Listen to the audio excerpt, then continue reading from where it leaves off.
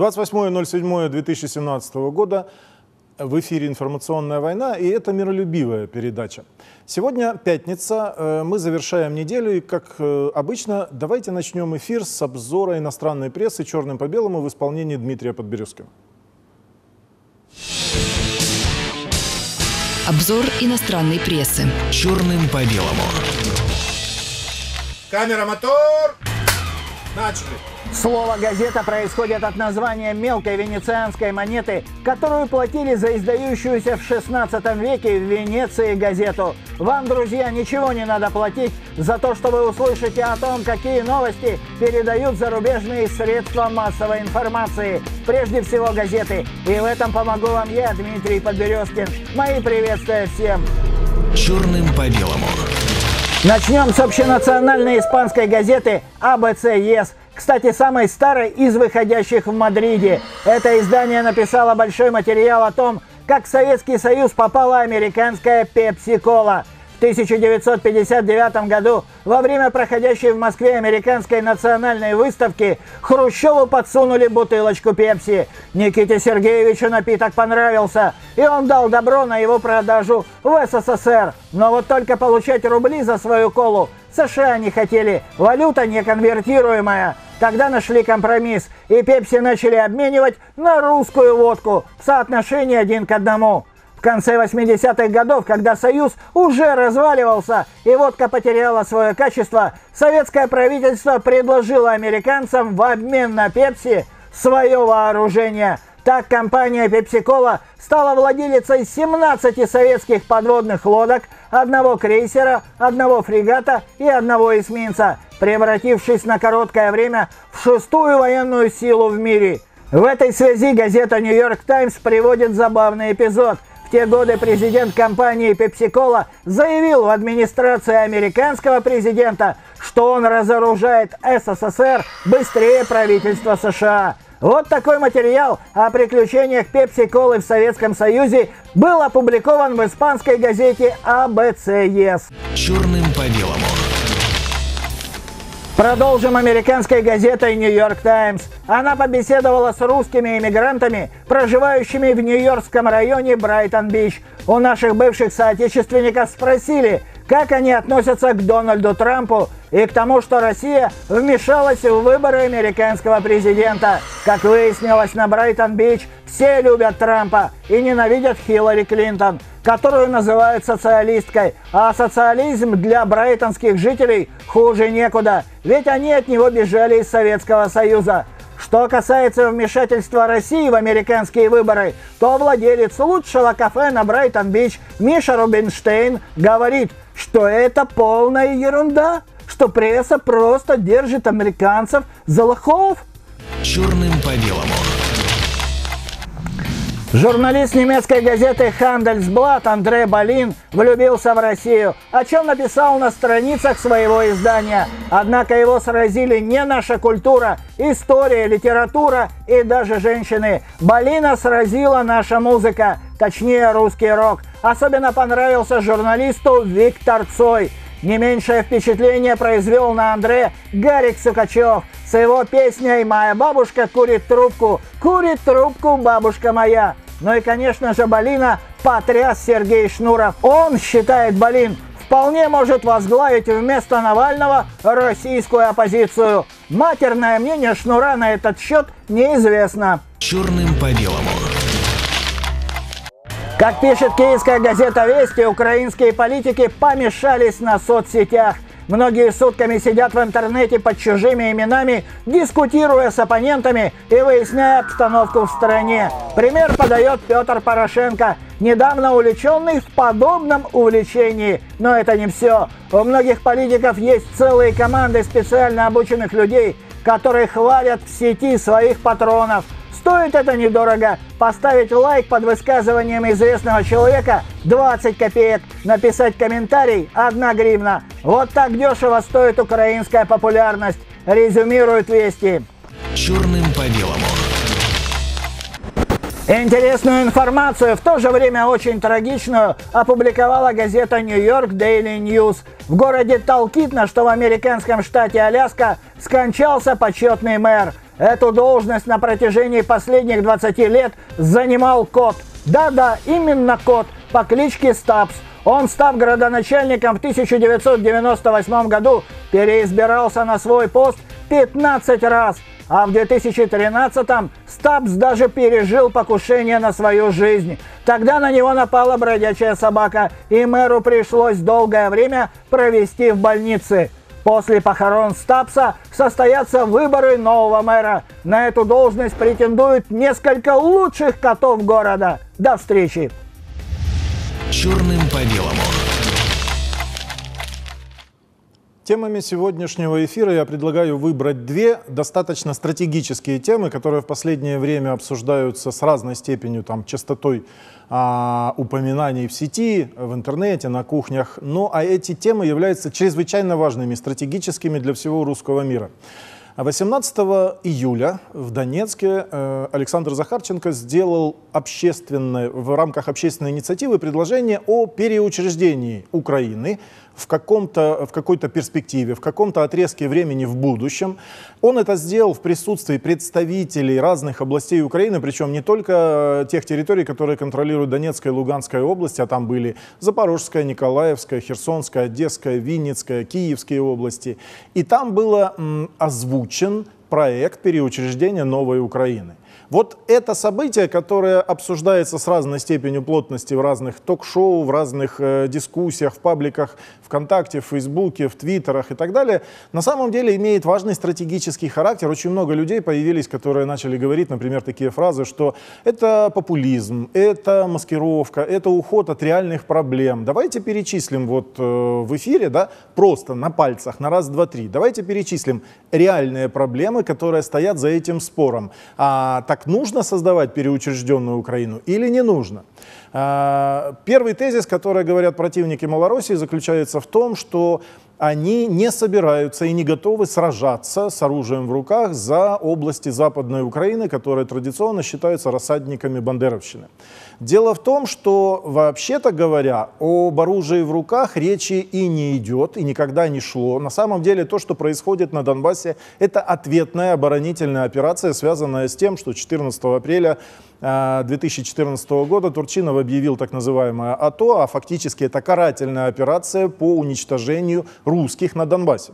Соответственно, русских на Донбассе нужно защищать. И вот эта оборонительная спецоперация, вот это есть вот тот минимум, который удалось, кстати, при помощи России, которая своими маневрами вооруженных сил на своей территории, а также своим влиянием в ООН, а также э, 19-часовыми да, переговорами Путина с руководителями Франции и Германии, ему удалось продавить э, Минские соглашения. Минские соглашения э, называются проектом или процессом, который, в который, например, переучрежденная Новая Украина никак не вписывается. И это тоже считается ну, аргументом против того заявления, которое сделал Захарченко. Давайте на шкале времени возьмем и разложим эти процессы, эти события для того, чтобы ну, просто расставить точки над «и».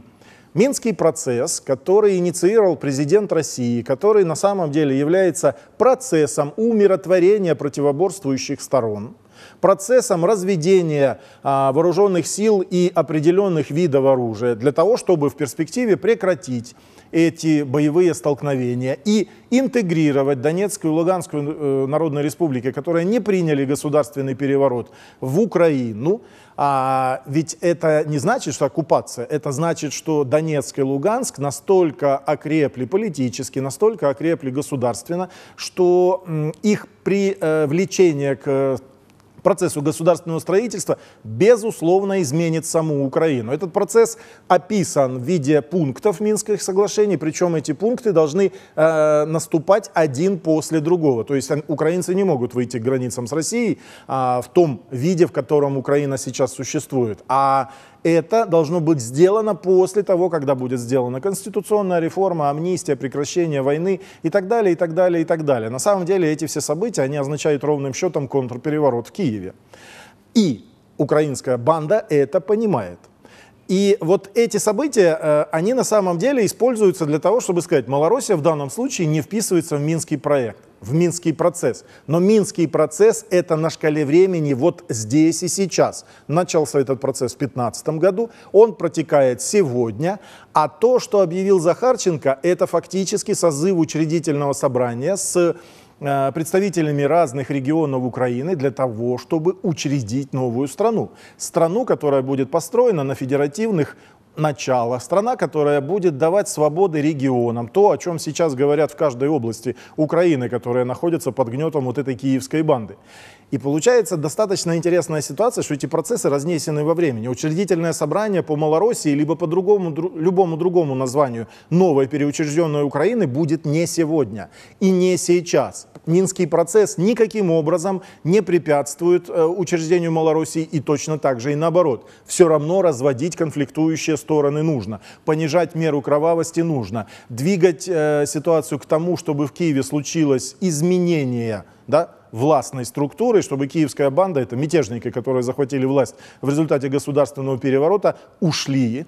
И на смену им пришли люди, которые будут находиться под влиянием и Донбасса, и русской общины в том числе. Вот такое разнесение по шкале времени, если его правильно вот понимать, да, оно никоим образом не противоречит Минскому процессу. Но на самом деле вот здесь вот кроется вопрос, который мы обсуждаем в социальных сетях и в телевизоре уже много месяцев. Да? Этот процесс называется «Так э, нас, русскую общину». Я в данном случае говорю не о Российской Федерации, я говорю о русских во всем мире, которых президент России назвал самым разделенным народом. Нас, безусловно, интересует а как живут русские на Украине? Причем русские не только, например, на той территории, которая считается исторической Новороссией, но как живут русские по ту сторону, на правобережной Украине, на западной Украине? А там что, нету русских? Там нет Почаевской лавры, там нет русской общины, людей, которые по своей самоидентификации могут дать а, фору многим людям, живущим даже на материке и э, тоже считающимися русскими. Как с ними быть? Это люди, которые находятся в оккупации, которые государственный переворот не приняли, но поскольку государственный переворот привел к фактической оккупации Западом Украины, как быть с этим? Очень многие политологи, очень многие спикеры говорят, что они не готовы воевать с оружием в руках за Западную Украину. Но давайте э, расставим точки над «и». Когда происходил государственный переворот в 13 и в 14 годах в Украине, а что, американцы, немцы, поляки, да, французы, итальянцы, канадцы, вот ЧС-15 отрабатывают разные там упражнения на Донбассе, они что, захватили Украину при помощи войсковой операции? Они бомбили Киев градами? Они делали это силой оружия? Нет, они всего лишь навсего потратили 5 миллиардов пресловутых, да, они поработали журналистским крылом, они просто купили некоторых спикеров, которых отчасти даже еще и выращивали и готовили к этому событию. Они подготовили боевиков, которых тренировали, тренировали в разных лагерях, в Житомирской, в Киевской области, на Западной Украине, в Прибалтике, в Польше. Да? Они подкупили часть элит, которые в нужный момент просто взяли и осуществили государственный переворот. Государственный переворот на Майданах же не делается. Он на самом деле делается в элитных кругах, да, в кабинетах на Банковой. И э, палатки могут шуметь на Майдане сколько угодно. Если не будет произведено ряда ключевых событий э, в, в управленческих зданиях, это все разговоры в пользу приезжих. И после этого возникает вопрос, а почему мы должны силой оружия, зачищая, вызывая, естественно, ответный огонь, подвергая территорию Украины стратегии выжженной земли, делать вид, что мы таким вот образом освобождаем от бандеровского проекта? Наверное, это нужно делать иначе. Наверное, нужно, как американцы, научиться у них, например, потратить деньги на некоторые средства массовой информации. Это должна делать русская община. Я в данном случае, опять же, говорю не о Российской Федерации. Русских по миру много у них, безусловно, есть стратегические интересы. И вот главный вопрос заключается вот в чем. Так вся Украина, на которой живут русские, а, вся Украина должна э, завершить государственный переворот. Или мы, русские, я говорю в данном случае об отдельных спикерах, отдельных политологах, которыми мы сейчас э, вступаем в дискуссию, а, сами себя будем убеждать в том, что мы заберем только южные и восточные области, да, мы там будем строить новую переучрежденную Украину, а вот эти территории нам не нужны. В данном случае я хочу обратить внимание, что с точки зрения военного планирования, да, давайте представим, что в этом споре участвует ну, немецкая разведка, которая находилась в определенных палатках на Майдане, польская разведка, французская, итальянская, американская, безусловно, да, а, посольство, да, э, спецслужбы прибалтийских государств. Вот как они участвуют в этом споре?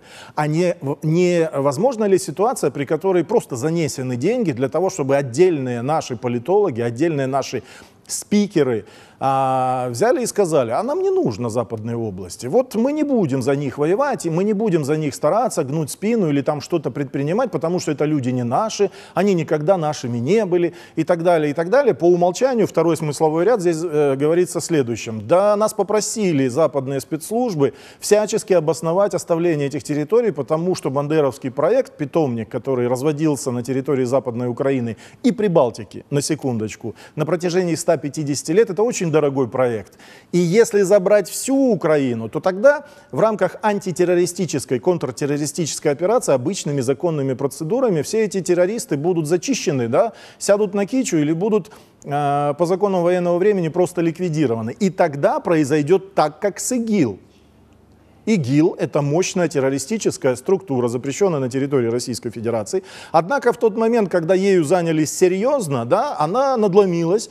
И, в общем-то, сейчас вопрос идет о ребрендинге. Хотя мы с вами понимаем, что любой вот, такой, вот такая структура, да, э, это, ну, как бы террористические организации глобального или локального масштаба это всего лишь навсего и регулярные армии стран Запада, которых есть кадровые военные этих стран, которые одевают чалмы, там, одеваются как маджахеды, но на самом деле являются кадровыми офицерами западных спецслужб. И вот здесь возникает интересная связка. В тот момент, когда отдельные спикеры, блогеры говорят, что забирать всю Украину контрпродуктивно. Пусть украинцы живут, как они хотят. На самом деле здесь есть четкая связка того, что в, э, согласовании с западными центрами управления ведется обработка общественного мнения в том направлении, чтобы русские сами себя убедили. Нам нужно оставить бандеровскому проекту определенный анклав. Нам нужно, чтобы Запад смог вырастить из остатков Украины те, которые останутся не под влиянием русской общины, да, чтобы бандеровский проект не завершился, чтобы туда шли деньги, оружие, чтобы оттуда тянулись террористические спецоперации на территории всех русских государств, а их несколько. И вот здесь я хочу обратить внимание всех телезрителей, всех блогеров и всех людей, которые живут в социальных сетях, обратить пристальное внимание буквально на каждого спикера, который выступает против переучрежденной Украины, новой, который выступает против того, что вся целиком Украина должна быть а, очищена от бандеровского проекта, что в Киеве должен произвестись контрпереворот, что Донецк должен стать центром концентрации управления новой переучрежденной Украины. Вот каждый поименно, кого бы вы не услышали, ставьте красным карандашиком меточку и задайте себе вопрос, а в чьих интересах ведется такая риторика? Типа, это нас не интересует, это не наши стратегические территории. Я вам больше скажу, в 1939 году, когда Советский Союз вышел на свои границы исторические, которые были вот перед началом Первой войны, а после э, Второй мировой войны, а после э, Великой Отечественной войны, они немножко даже подкорректировались, к нам добавились определенные территории, вот эти границы имеют колоссальное военное значение. Они означают то, что если посмотреть в профиль на рельеф Карпатских гор, предгорий и так далее, и так далее, если наша граница будет у предгорий, мы имеем колоссальное тактическое ущерб. Мы не обладаем определенным стратегическим преимуществом. Вот когда мы находимся на своих исторических границах, то тогда Запад понимает, что мы неприступная крепость. И там просто а, уходят напрочь любые мысли попробовать в очередной раз на прочность русские государства. И вот это, мне кажется, важнейшая стратегическая тема, которую мы должны обсуждать. Любой спикер, любой блогер, который выступает за раздел Украины, является врагом русского мира по умолчанию, по непониманию, по деньгам, по подкупу, по компромату, я не берусь это судить, но любой блогер, который за раздел Украины, это враг русского мира. И вот это, мне кажется, нужно выбить у себя на мониторах и вот этот тезис иметь в голове всегда. Это первая важная тема сегодняшней информационной войны. Я считаю, что она имеет колоссальное стратегическое значение для всей русской общины, для всего русского мира. И если я не прав, то давайте поспорим. Я вообще предлагаю устроить дискуссию на эту тему, устроить какие-то публичные дебаты, которые, кстати, можно делать не только в студии. Это можно делать и при помощи скайпа, софта Google там и так далее, и так далее, это можно сделать по определенному там регламенту, да, с э, программными заявлениями, с прениями, с вопросами из зала, но это можно делать удаленно. То есть э, участники такой дискуссии мо- могут находиться друг от друга за тысячу километров. Вот такие дискуссии по ключевым вопросам нынешней тактики и стратегии, мне кажется, тоже можно производить. И всех заинтересованных лиц, которые имеют площадки для проведения таких дискуссий, я предлагаю к этому процессу подключиться.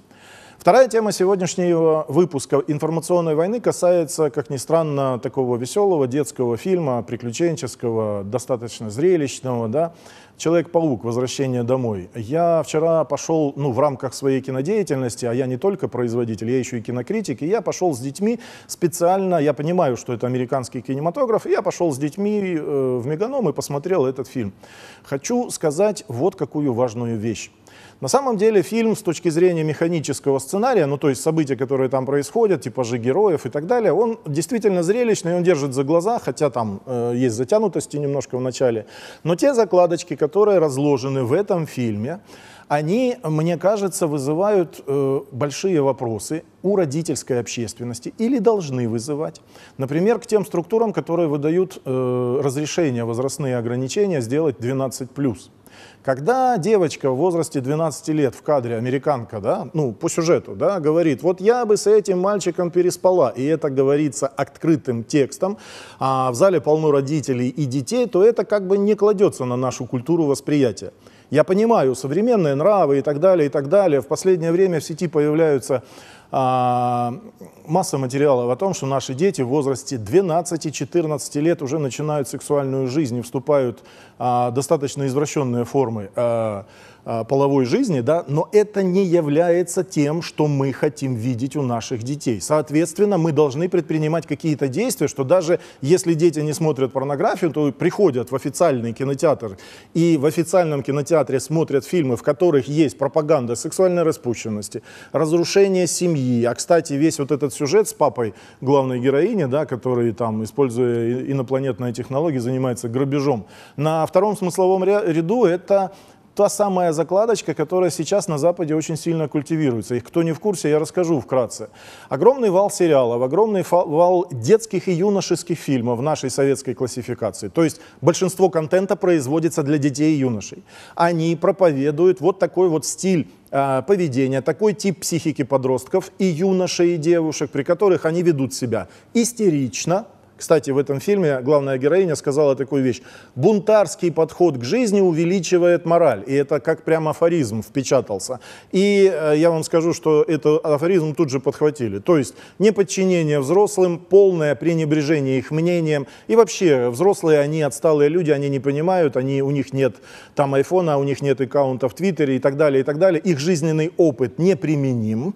И вот э, на Западе практикуется тем, что при помощи контента прокачивается сознание подростков и детей, а в тот момент, когда взрослые возмущаются таким положением вещей и начинают продавливать свою точку зрения, э, вторая половина ювенальной юстиции, ювенальная юстиция это же не только отъем детей из семей, это еще и посадка родителей, это еще предъявление им без презумпции невиновности обвинений в том, что родители превышают свои полномочия, что они э, доминируют над э, волей, свободной волей человека и огромное количество случаев, когда родители просто сажают в тюрьму по простому заявлению ребенка, который, кстати, в этих фильмах, в этих сериалах запрограммирован на такое поведение. Получается, знаете, система двухплечная. С одной стороны, детей развращают при помощи контента, а с другой стороны, не дают родителям подкорректировать вот этот программно-адаптивный модуль да, и повлиять на подрастающее поколение, их просто сажают. Таким образом, идет разрушение института семьи. Мы, конечно, больше защищены от этого нашими традициями, нашей культурой, однако я хочу сказать, что та вакханалия, которая происходит сейчас с выписыванием прокатных свидетельств Министерства культуры на американское кино, а, с присвоением э, возрастных ограничений, она должна каким-то образом быть подкорректирована подключением нашей церкви, подключением а, родительских организаций, потому что на самом деле наши враги по-прежнему воспитывают наших детей. И с этим что-то нужно делать. Я думаю, что запрещать эти фильмы ни в коем случае нельзя. У нас хватит ума и ресурсов сделать так, чтобы мы ходили на эти фильмы, но делали точно так же, как Задорнов, да, по отношению к американцам. Мы можем сделать антидот против этого яда. Мы можем создать культуру, при котором а, вот сексуальная распущенность, да, ранее половые связи у девочек, да, разрушение института семьи и самое главное, отсутствие мозгов у героев, да, а это прививается как модель поведения, было стыдным. Создать культуру, при которой их можно просто ну, сделать постыдным и сделать модным среди русских развитых детей. Это мы можем сделать, и это мы должны сделать. Мне кажется, вот это направление работы стоит подумать среди общественных организаций отцов, которые сейчас создаются в разных субъектах федерации, родительских сообществ. И над этим стоит подумать структурно, каким образом, какие обращения писать Министерство культуры и обращаться к высшим органам государственной власти для того, чтобы навести порядок с детским и юношеским контентом. Сегодня у нас 28 э, июля 2017 года. Лето идет своим чередом, жара на улице. Кстати, очень добавилось туристов в Республике Крым. А, желаю вам всем хорошего летнего отдыха. В эфире была информационная война. Спасибо за внимание.